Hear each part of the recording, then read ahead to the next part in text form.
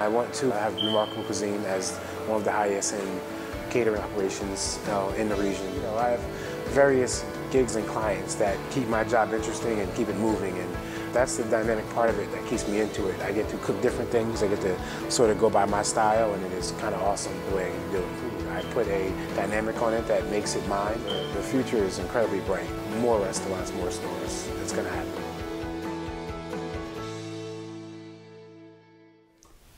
Hello, my name is Chef Mark McLean. I'm here to demonstrate a couple of quick and easy cooking techniques so you can prepare a restaurant style dish at home.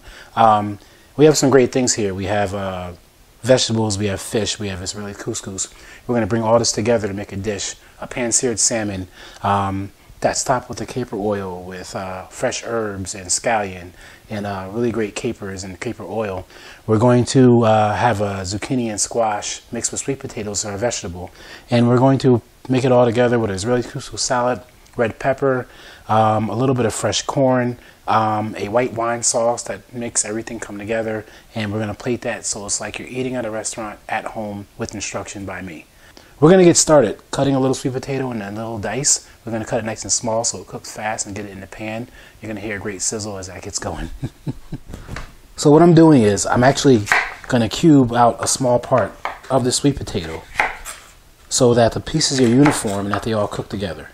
Kind of just moving easy and quickly to add a little bit of great starch to our veg, but at the same time, flavor, size, consistency are things that matter in a dish, especially if you are in a restaurant and you see how great things are like that.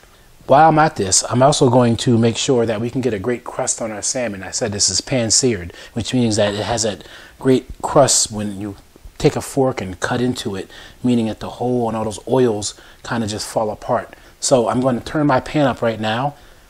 I'm going to heat my pan up for about, say, four to five minutes on a, on a high heat. So it's always starts to smoking.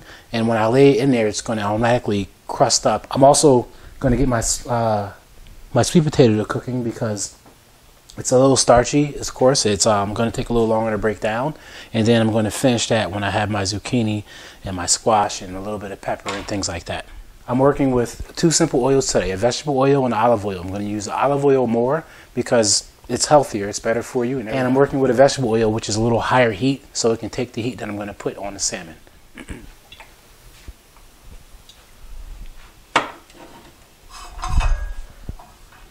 Now you guys have to understand, everything cooks in a medium and it cooks a certain way. We put fat in the pan because we provide a fat for things that don't have any fat. For example, potatoes, zero fat, zero calories, until you actually introduce that to them. We're frying it in the pan with olive oil so we can actually provide a certain fat for this.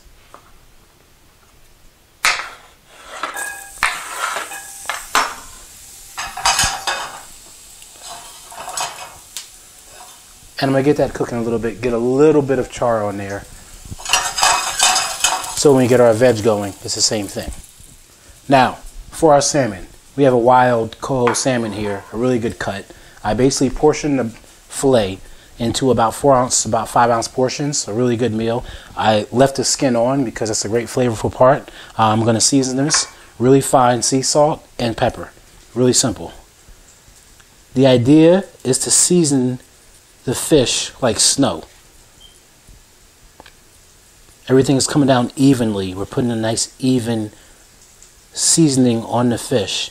Understand also that the salt is going to work to dry the fish out. You can't sear something that's wet because then when the uh, when the moistness hits the pan, you create steam. The salt is going to dry up, of course, the fish when it hits it, and it's going to make it so we can sear that nicely, put a nice crust on the fish, and then when we finish the fish in the oven at about hmm, 365 degrees, all the oils of the fish will distribute, and that's the good parts that you're tasting. So I season one side. I season the non-skin side because that's the part we're searing. After we put this in the pan, it is going to sear, and we're going to season the other side, and we're actually going to put it in a in a pan on um, parchment paper so they're we can finish in the oven to our temperature. A lot of people don't know this, but you can finish a salmon just like a steak. You can do it medium rare, you can do it medium well, you can do it medium, you can do it well done. Me, I prefer my salmon medium rare, but I'm gonna cook this to about a medium so the fats distribute, and you'll see that when we cut into it later after we plate the dish up. Okay? So I have my sweet potato cooking here. There's a nice little sear on there. All right. I have my pan getting hot. I can taste the temperature there by putting my hand over it a little more, and it's going to be hot enough for us to start searing our salmon. At the same time, I can start to cut some zucchini and squash. That's going to be our veg also. We're going to add this to the pan after we cut our, after we have our sweet potato going for a little while and searing a little bit.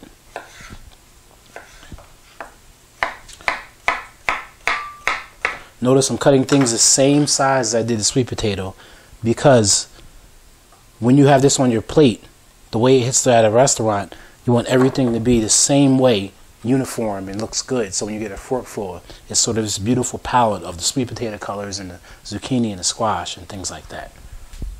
I'm going to add a nice layer of oil to coat the bottom of our pan.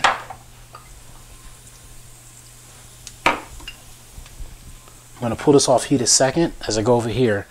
And as I put this in here, you're going to hear the greatest sizzle ever.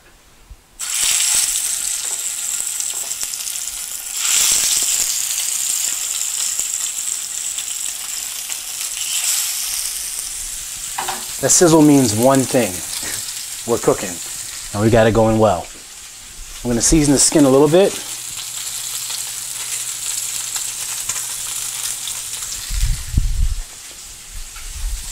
Salt and pepper. Same one I used for the other side.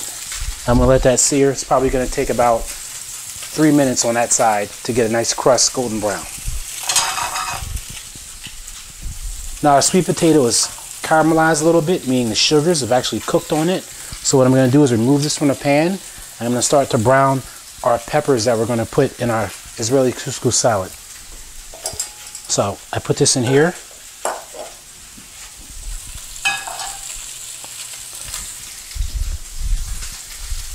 And move a zucchini to the side. I grab a red pepper. I'm gonna cut this in a small dice.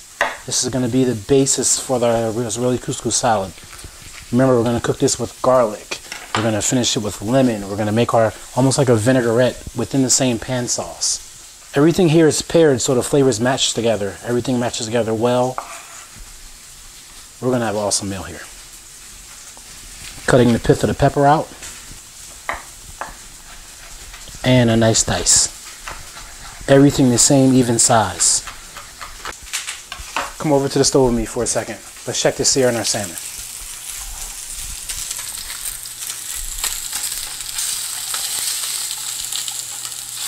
Now lift that up. I see a golden brown color. That, my friends, is what we're looking for.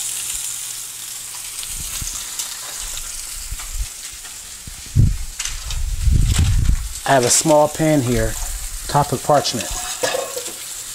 It means I can put it right in the oven to finish. I'm gonna take our salmon out, touch the side that isn't hot, and flip it right there.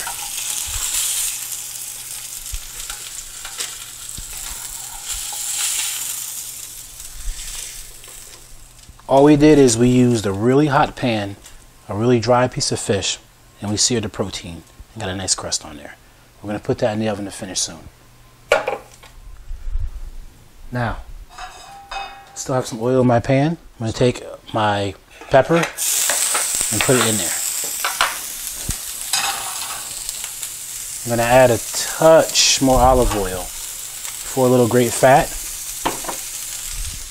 And then I'm going to chop up a piece of garlic. Now, usually you could put the garlic in before you start cooking the pepper, but you want the pepper to break down a little bit. You don't want the garlic to burn. Garlic is awesome. Burnt garlic is terrible.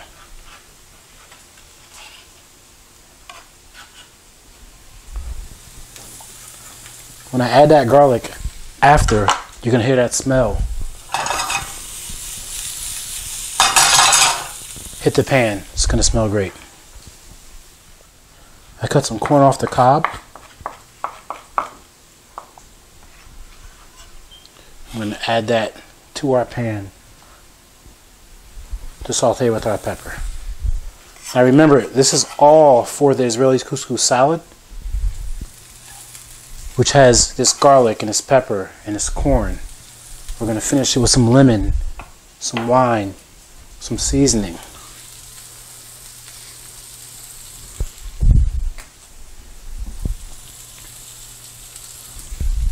A little more salt and pepper. Touch more of olive oil.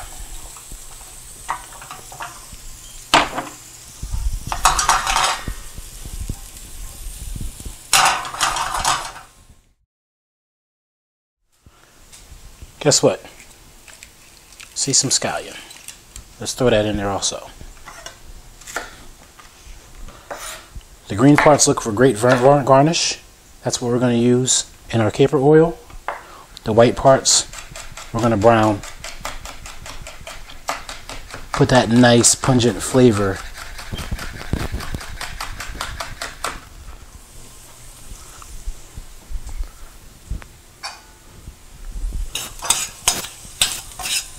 Now, the idea here is not to overcook our vegetables. The idea is to uh,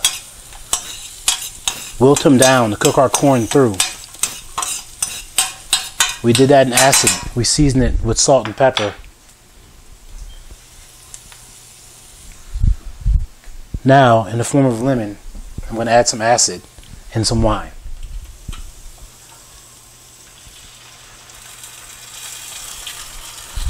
I put the equivalent of about two tablespoons of wine in there, which I'm going to let cook out. And now I'm actually going to put our salmon in the oven because we have about nine minutes for that to cook. And I know how long everything's going to take.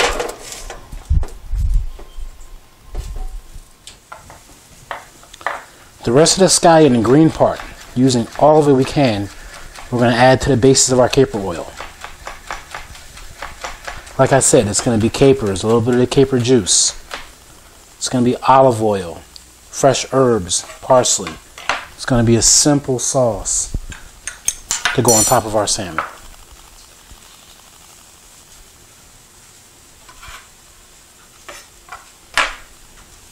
I have some capote capers here, available in any supermarket. I'm just going to chop them a little fine. And we're going to take this and put it right over our couscous. Our couscous has our sugar snap peas in there already. And we're going to let that cool a touch as we go back. So earlier we had our sweet potato. We browned our sweet potato on all sides. Got a little caramelization. All right. We cut our zucchini. We have some squash also.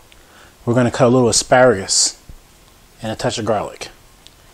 We want everything the same size. We're going to cut this asparagus the same way we did our other vegetable. To nice fork size pieces. So when you do get a fork and you dig into all this great veg on a plate, everything is the same size and uniform.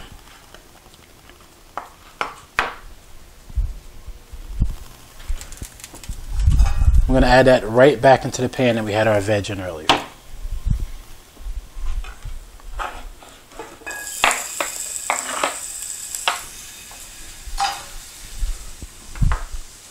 Let's get some garlic in there. We love garlic. I'm gonna chop my garlic nice and fine and I'm gonna add it after I added what I sauteed because I don't want the garlic to burn. I want it as a flavoring aspect. I have my asparagus in there right now.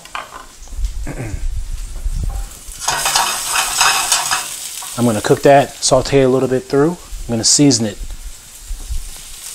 Salt and pepper just like before. I have my zucchini I cut.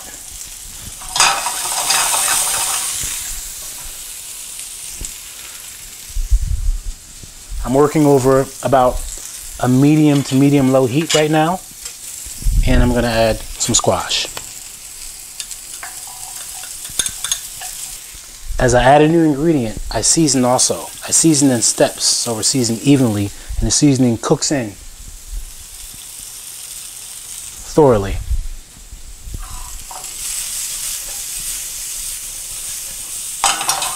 And I want to get a little bit of caramelization on the vegetables. Lastly, I'm going to return my sweet potato to the pan.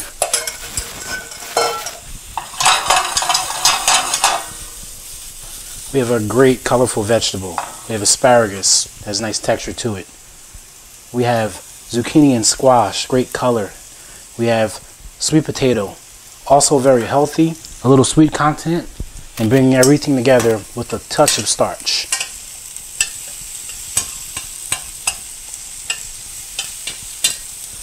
And if you're like me, you like your vegetables nice and crunchy so you know that they're there. So we're going to turn this off and let them continue to cook with residual heat. Now, I can focus on what we did earlier. We added our vegetables to our couscous salad. We had a lot of vinegar in there, a lot of acid from the wine we reduced out. We're going to add some olive oil. We had our snap peas that we blanched earlier and cut it in nice dice. And we have, of course, salt and pepper because we season in steps, just like we did our vegetables, our corn. And we're simply going to mix that together and fold all of that in to the couscous. We're going to see the colors it takes on, the yellow and the green, and you know you're eating a little better, a little healthier. Last step. We cut up capers earlier. We had scallion. We're going to add olive oil and some fresh herbs, some parsley, and some dill. I'm going to add a little bit of the juice from the capers. That's going to add our salt content. We're simply going to mix that together. We just made the simplest sauce ever to go on top of our fish. We cut up capers, scallion. We took fresh herbs. We finely chopped parsley, a little bit of dill. We mixed it with olive oil. And without tasting, I know it's going to be great. So it's been about nine minutes or so. We can move to our salmon. Get a look at that. We have a nice golden brown top. You see all that great fat is still in, but it's leaking out a little bit. We have what is nothing short of the makings of a great dish. We're going to put this aside to cool. We're going to grab our plates. We're going to plate this up.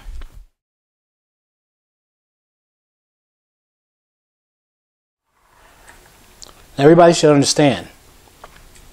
The idea is if we were in a restaurant, the portions are already controlled. It's not about eating a lot, it's about putting a great flavor on the plate, making it look great, and pairing together with every other element. So, we didn't have to make a lot of food. We made really great food, really simple, made sure the flavors melded, and we did so in great time. So I'm going to take my couscous salad. Remember, has the wine that reduced out, the lemon. We have fresh corn, pepper, scallion. We're going to put that right in the center of the plate. And we're not being stingy with such a great starch. We're going to plate this a little bit of an angle, leaving our spot for our protein, which is the star of our dish. Remember, we had our sweet potato in here. We cut that in a nice small cube. We caramelized it first. Over medium heat with olive oil. We seasoned with salt and pepper. We took that out of the pan. We actually cooked our vegetable for our couscous. Then we returned to the pan asparagus, a little bit of garlic, zucchini and squash. And last but not least, our starter dish. We have a great pan-seared salmon fillet. Nice crust on it, skin on.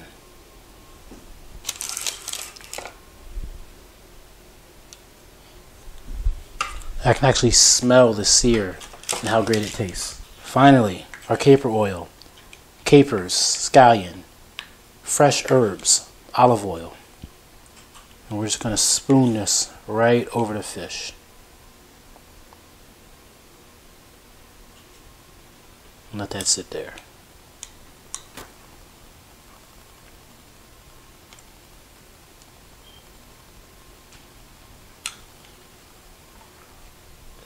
And since we're at a restaurant in our house, let's make a great clean up our plates. Eat with your eyes first.